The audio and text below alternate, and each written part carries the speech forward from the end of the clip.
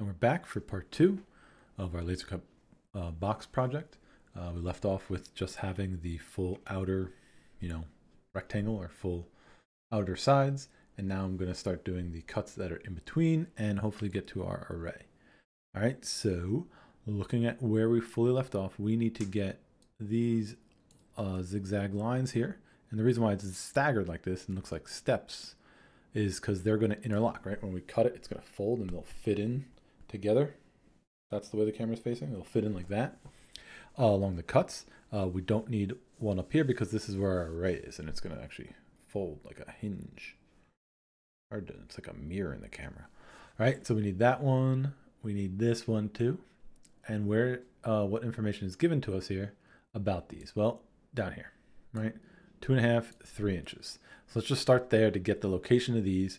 We'll go two and a half, then three inches. Look at that. So going back to our drawing here, I'm just going to offset. Uh, I already forgot the number, 2.5. Enter, and I'm going to click on this one and just go over there, 2.5, right? And then offset again. What's our distance? It's just 3. Enter. Whoa, I zoomed in. That guy over 3. So we have these points where we can start our zigging and zagging. So what do we know about this? Well, first of all, they're identical. So we only have to draw it once but they're mirrored. That's annoying, right? Is it mirrored? Mm, yeah, it is. Who came up with this design? This guy. So, what do we know about it? Well, we know from this first one here, we go up a half, and then it goes in an eighth, and then we're going to go up a half, and then it goes in an eighth, and up a half, and then in an eighth, right? So it's half, half, half, all the way up. Right? How do we know this, that it's half all the way up? If this whole thing is three, half over here, so that would be one, two, three. Yep, so let's begin with that. Going back to our actual drawing line. So from here, we're going to go up 0.5. Yep, 0.5, enter. And then we're going to go over 0.125, an eighth, right? And then we're going to go, go up 0.5, enter. Then we're going to go over 0.125, enter. Then we're going to go up 0.5, it's right there. We can just click. I'm going to click and delete my previous one. So now I just have my zigging and zagging. And then can we make our lives easier and just mirror this? No. No, it doesn't look like we can. Oh, black and ah, ah, ah, shortcut right here. Just do it one more time over here and then we can copy and paste that. Yeah. So 0.5, enter, over, 0.125, enter, up, 0.5, enter, over 0.125, enter, and then just straight up. So yes, you could have done this with all offsets and everything. That's all fine and dandy. Trying to make this so we can just copy and paste. But it looks like we have a 1 8 over first, and then I can copy and paste. Yeah, so if I go a line again, here over, why is it not staying flat? Over uh, 0.125, enter, and then it's just going to be going up. I can just copy base point here to there. Did I do it? First try? Does that look right? Does that look like the same? Top, over, in, under, yes. Let's do the same thing over here. If I just do a, one more line, enter from here, go over 0.125, enter, and then just copy these guys. Base point down here to there. Wow. That doesn't look right. Is that right? You did it, right? Those look the same, the zigging and the zagging. I think it does let's just confirm, uh, throw some dimensions on real quick, make sure that this guy here to here is two and a half. And this guy from here to here is three. That's good. And then one more thing to check here, if you look, I give you this dimension here. So hopefully, hopefully, from this midpoint to this midpoint is two and three fourths. Look at that. Look at that. All right, we have our zigging and our zagging. Let's get back to um, drawing what else is left. So what else can we draw? Leaving there right for last, we need the slots openings for the actual side. So when we actually draw, if you look on the side view over here, you'll see that these pegs here are actually going to go into the slots that we're making or about to make, right? Those slots all fit into these holes here, right? And they'll stack and wrap around. So what do we know about the location of these? Uh, a lot of it, it says TYP. TYP means typical. That means all of them are the same. And what information are we given about them? Well, over here, I see 3 fourths over is our first one. We'll have 1 eighth is typical as our thickness. And then 1 fourth is typical of our width. So they're just a bunch of 1 eighth by 1 fourth rectangles. So why don't I draw just one off on the side somewhere, and then we can move it. So if I go to rectangle, click, drag, our x directions first, which is just 0.25, tab, 0.125, enter.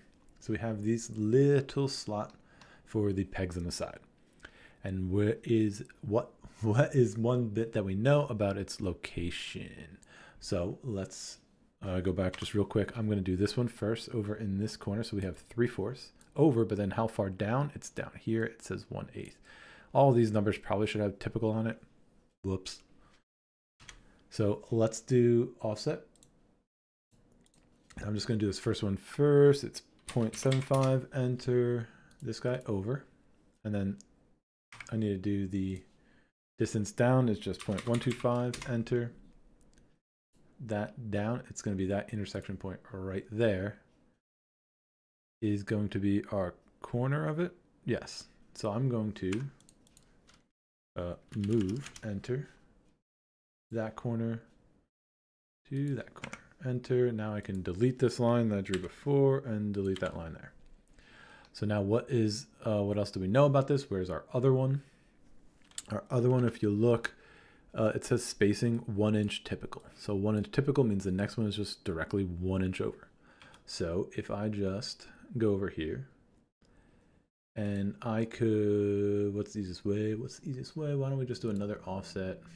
Just do one, enter that. Oh, that's going to offset that way because it's exploded. Why don't we, ah, easier, easier. Let's just draw a line. This, go over, just one, enter.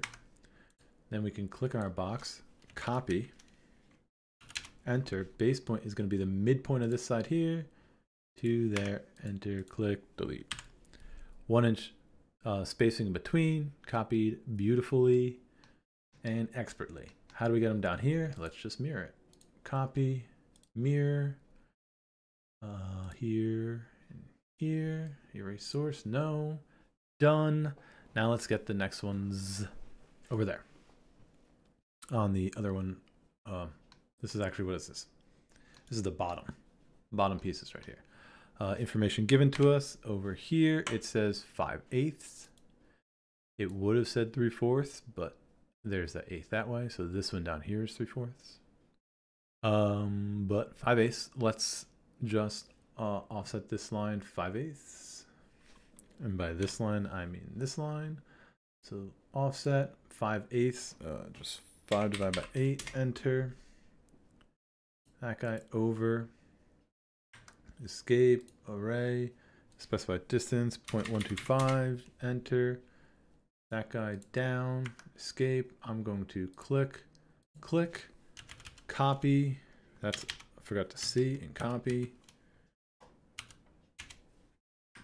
What, what, what? C, O, copy, got it from this point here and go to there. Beautiful, beautiful. Delete, delete, highlight, mirror, there to there. No. There we go. Getting slots, getting slots, getting slots. Uh, what's left? What's left? These slots over here. We got two left. Uh, this one says 13 sixteenths who came up with this design. Look, you'll see it matches this one, 13 sixteenths. So let's uh, offset that, 13 sixteenths, mirror, 13 divided by 16, enter, that guy over, escape, offset, this is 0.125, enter, up, escape, copy, copt, C, O, enter, select objects, did it backwards this time, whatever, base point, down to there, escape, delete, delete, highlight, mirror about our center line. Resource, no. Hallelujah. All right, we've gotten somewhere. Right, I have all the tabs in now for uh, the spacing uh, to make sure we have all these uh, spots right. Right? Is that going to give me 13 16ths on an angle? That was nice of it. Uh, linear. There to there, 13 16ths. What other random ones do they give us here? They give us this one up here. Uh, it's 5 eighths. Got it. These in between should all be an inch. Got it. That one to that one should be an eighth. Got it. That one to that one should be a quarter.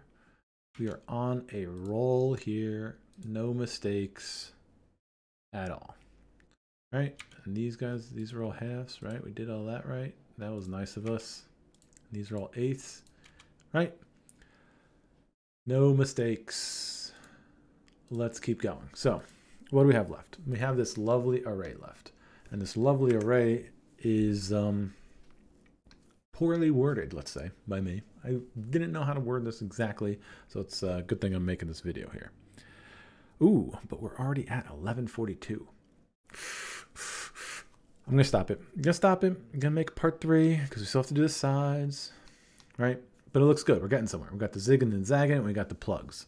All right. So I'm going to stop uh, the video here. Definitely do the array and the sides in one last video. All right. Good luck. Have fun.